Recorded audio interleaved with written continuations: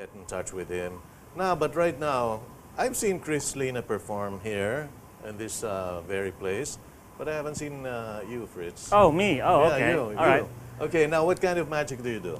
I do mostly close-up magic with uh, ob- uh, objects that you know that you have at home with cell phones, paper money, coins, rings, uh, Okay. keys. But uh, today I will uh, I will show you this.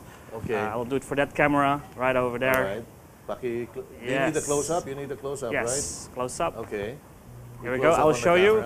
This is one of my favorite bills, uh, the 100 peso bill, because on the other side it has the Mayon volcano and one of the the most awesome animals in the sea, the the, the white shark.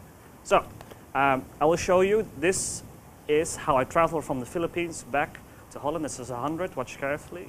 Don't blink because we don't have the 100 peso in Holland. We actually have, where I live, we have actually the 100 euro like that. so I think that's much more valuable where I'm from. so. All right. Hey, hey. I mean that that I I, I clap to Oh, that. salama. All right, Thank you, thank you, thank Can I see that again? Yes, of course. You All can see that. I'll, Yeah. I'll give it back to you. Yeah. after the show. After the show. After the show. okay. So.